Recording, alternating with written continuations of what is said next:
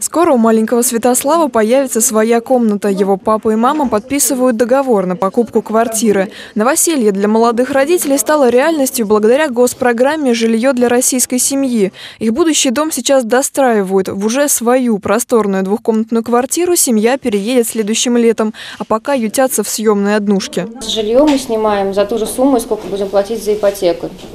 То есть мы ничего не теряем, наоборот, прибавляем, будем платить за свое. У семьи Шумиловых номер договора красивый, четырехсотый, а всего в программе хотят участвовать уже больше двух тысяч самарцев.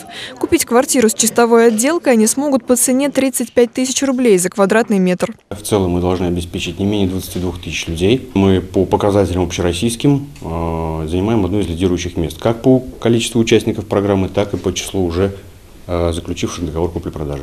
В Самарской области в программе «Жилье для российской семьи» участвуют 8 застройщиков, и список их будет пополняться. Всего до 2017 года в губернии возведут почти 900 тысяч квадратных метров доступного жилья. Валерия Макарова, Максим Гусев. События.